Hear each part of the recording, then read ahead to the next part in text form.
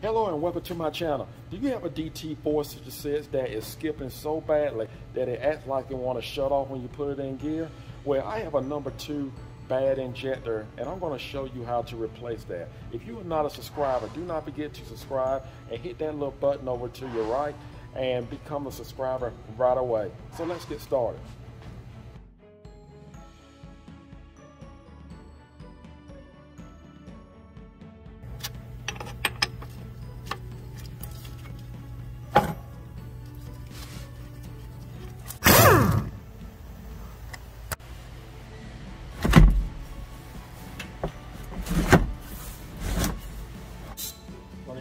13 millimeter.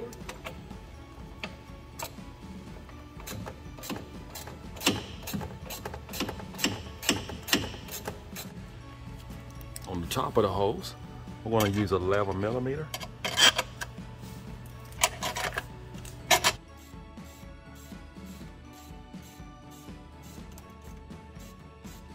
Now I'm over on the passenger side of the vehicle and I'm going to remove the other end of that hose at the turbo.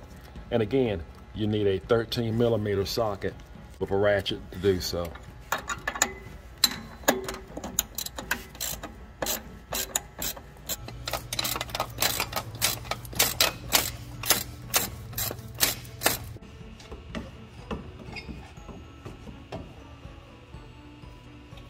Guys, I like to put a rag. I like to put a rag over this this hose because the last thing I want is something to actually fall into it. And I'm just going to take a zip tie and just put around it.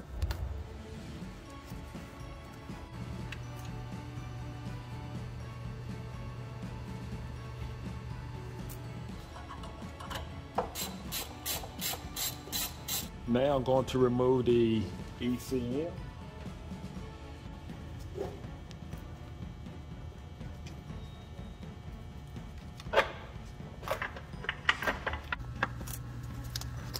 And I'm just going to move it to the side.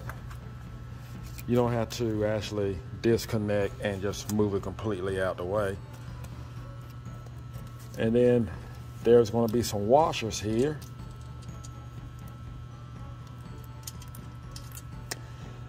Three washers.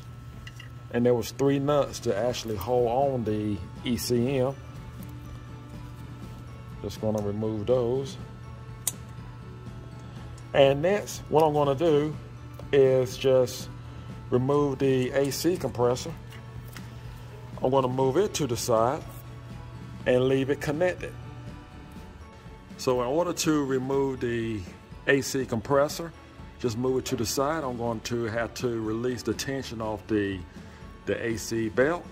And I need a half inch. I'm gonna use a breaker bar. You can use a half inch ratchet. And I'm just going to loosen it so I can actually take the belt off. There we go. We have four bolts to remove for the AC compressor. We have two bolts on the opposite end. On the bottom, 3 8 bolts. And we have two 3 8 bolts back here that would be much easier to get to versus these two up here. So I have removed these two on the bottom. Now I'm just going to remove these two and move the compressor to the side out the way. And last but least, there's three holes I like to cover and you've seen the last two and this one here, although I'm going to remove the valve cover, but I don't want to mistakenly drop in anything inside of it and not know about it. You don't want that. To remove the tensioner bolt, I'm going to use a 5/8.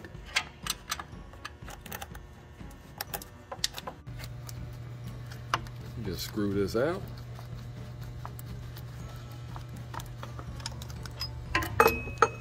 Take out this last bolt and just pick right up on the compressor and we're just going to move it to the side.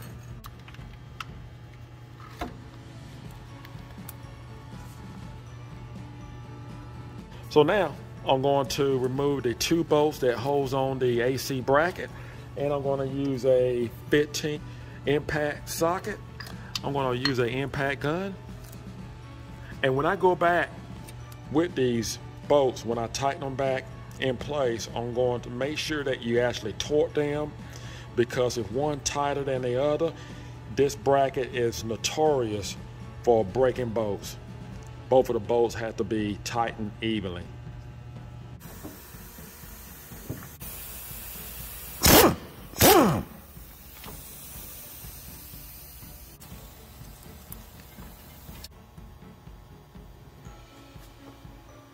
Then we're gonna remove our valve cover bolts.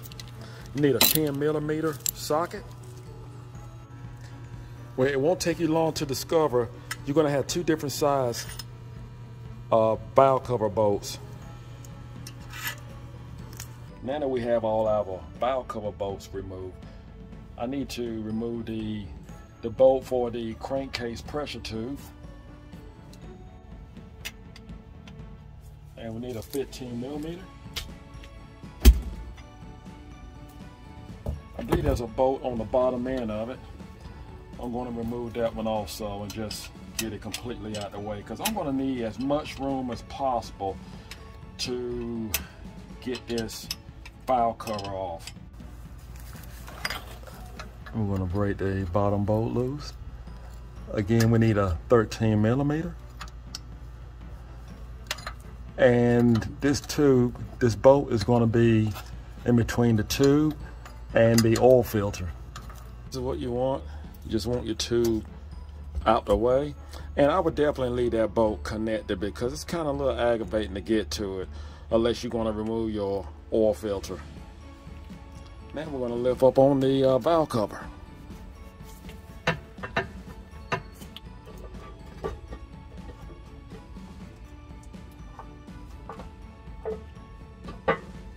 Guys, you may ask yourself, and ladies, you may ask yourself, uh, which injector is what?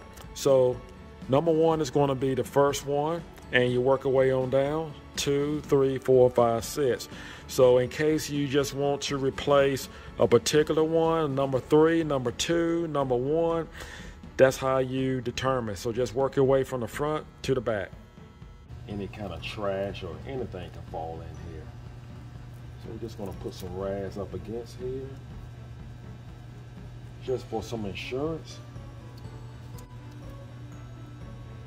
Last thing you want is you do all that hard work and something happen and you try to figure out why and because of a bolt or trash. So what I'm gonna do, there's a ring here, a little clip. Just gonna pull back on it and then just slide a harness straight down. Next, I'm going to use a 8 millimeter.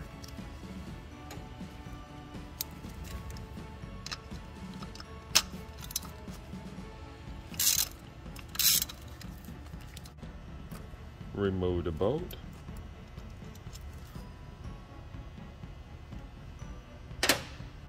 Next, after we remove the, the bolt from the injector, we're still going to need an 8 millimeter socket. And we're going to have to remove the the wire harness rail. So this a rail, so we're gonna have to actually remove it from each injector. And so we can just move this rail out the way so we can actually get the uh, priority injector up. We have six bolts to actually remove for the wire harness. I like to take a Jasper wrench and just move it back and forth.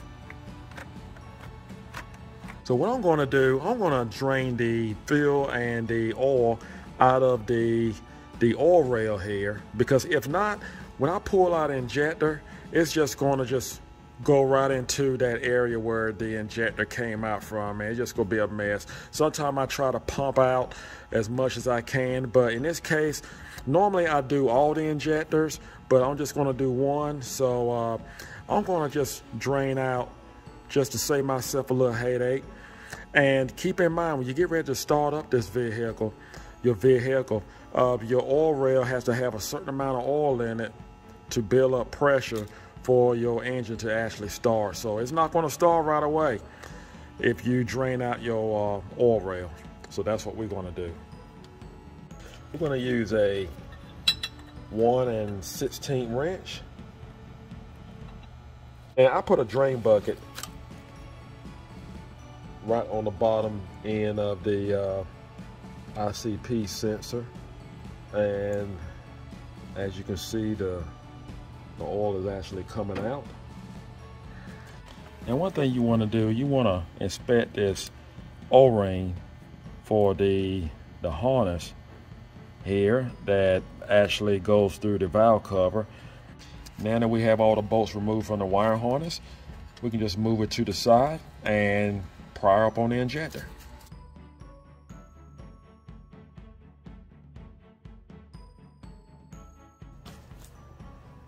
All right, this is what we have here. This is the injector. That's the part number that you need. And there is a core on this. And you're gonna put the old one back in this bag here. So they they pretty much gave you everything that you need.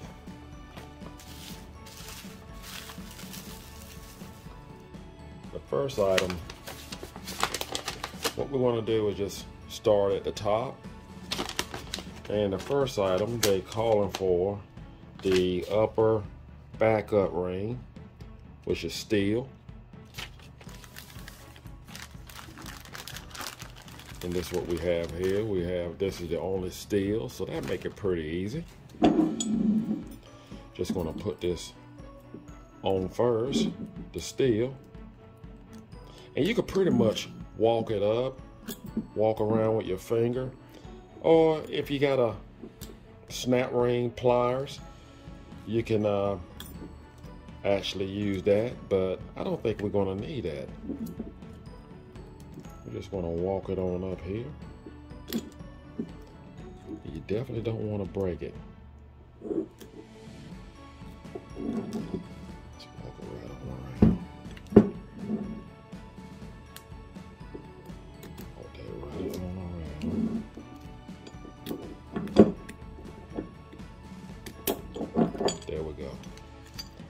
That's what you want. Next item. Let's see. Upper custom ring black. Let's see. I'm assuming it says black. And it shows the the diagram. So it has that O-ring round type. And you have another black O-ring that's actually is flat. So we're gonna put that one in. Let's see here. Number two, the black one. Number two actually is going to be the flat black. So, so this is more like the the round type, and this is the flat black. So this is going to be next. We're going to use this. So let's go ahead and just put this one in here. And just pretty much just peel it on up there. And once you get it up there, just flatten it out.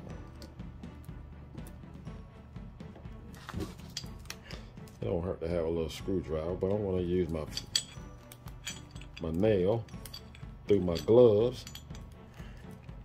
All right, so now we got the black one there. Next, uh, let's see here. It says dark blue, so actually the regular type O-ring is actually dark blue. So we're gonna go ahead and put that in next. That's number three.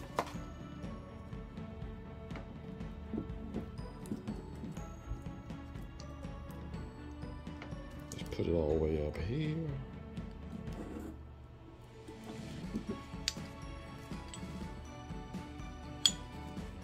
So we are finished with the first section. So we have one, two, three. So we have all three items here. Now we're going to go to the next section, number four. Number four is calling for the middle seal pink. That's pretty easy. Now this one here, this one you may, it may take a little time, more time than the rest, but it's really no big deal. So we're gonna do it like we did the rest. Just press it on down, kind of walk it in. Oh, that went in much easier. Okay, so that's number four. Uh, let's see here, number five. Only thing that's left is number five is going to say the lower O-ring orange. So hey, it's it's the only orange O-ring we have. So that's going to go right here. Just going to just put that in there. Now, last but least, at the bottom, you have a injector gasket. Now, what I'm going to do here, I remember years ago, there used to be a, a certain position that they wanted you to install this, this gasket. But I'm going to, uh, and now it seems like it doesn't really matter that much.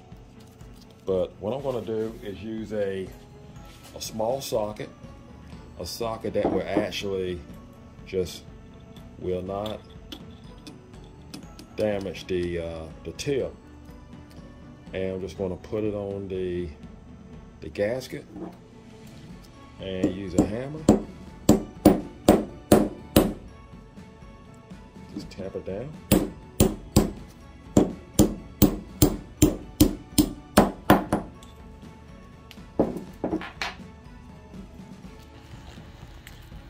All right so that's what it looks like inside of the uh, the walls of the injector then we're going to put the injector in.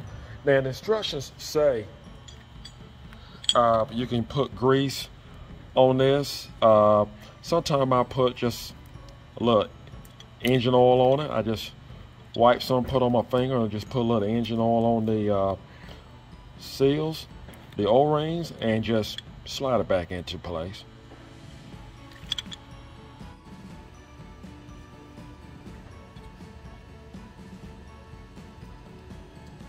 And just want to slide this back inside of the uh,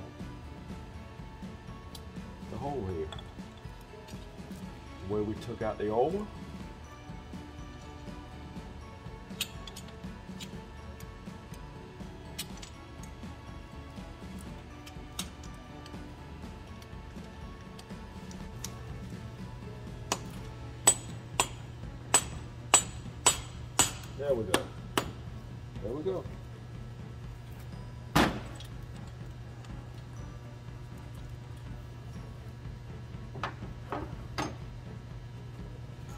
Bolt back in place.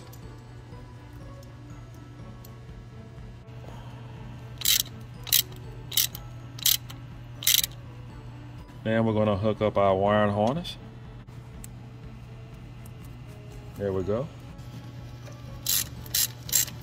Just going to make sure all the bolts are tightened down for the, the wiring harness rail.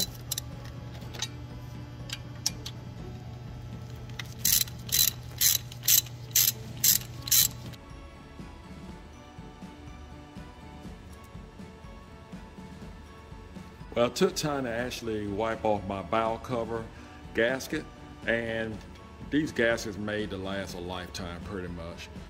Now will be a good time to actually uh, check your, your bow clearance if you need to do so.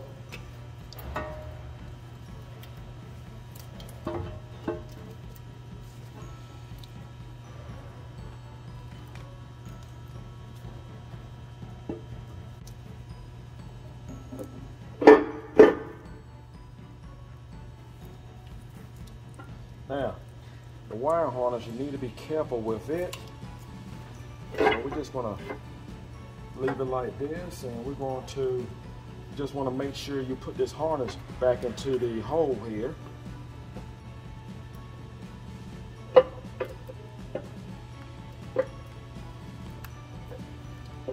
Once we get it in there, get in the right position, then we just push it on through.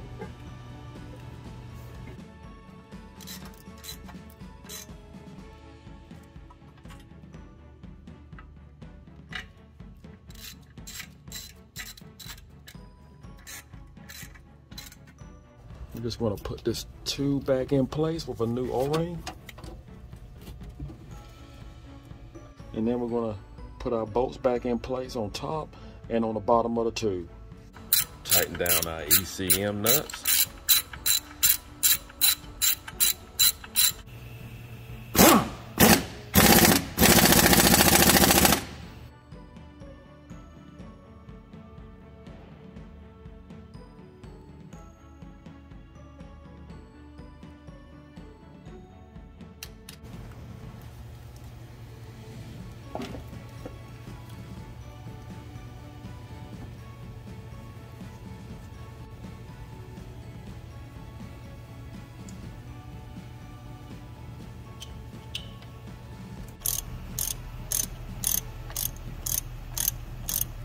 Back on our ICP sensor and we're going to put it right back down here on the oil rail.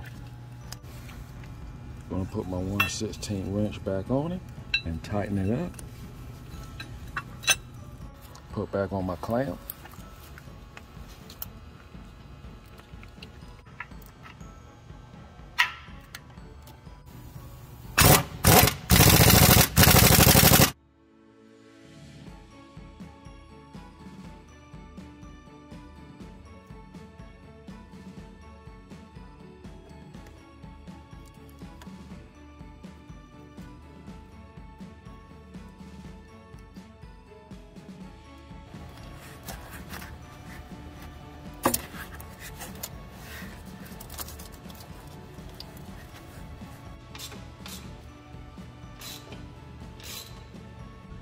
Going to reconnect the battery.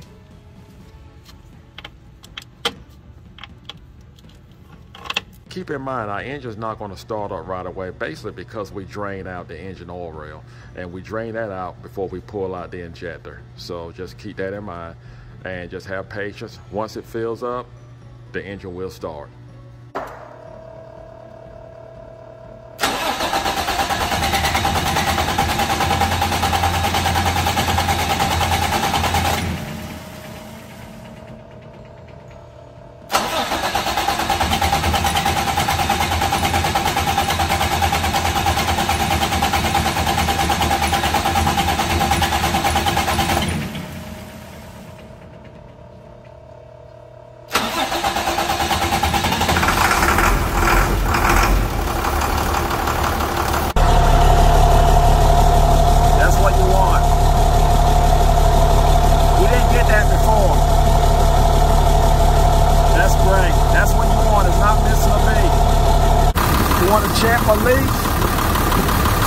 So good. Everything seems to be running fine.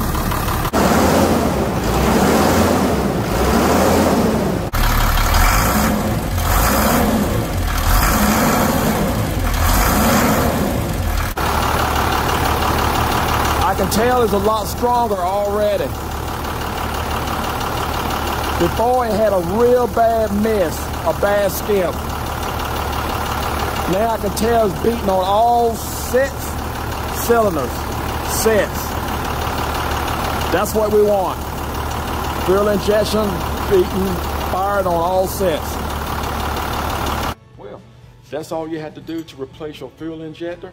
If it's low on power or has no acceleration or skips real bad and it tells you that an injector need to be replaced, go ahead and find out which one needs to be replaced and replace that injector. This video, I hope it helped you to do it step by step. And thank you for watching. Do not forget to subscribe. If you like it, give it a thumbs up. Take care and God bless.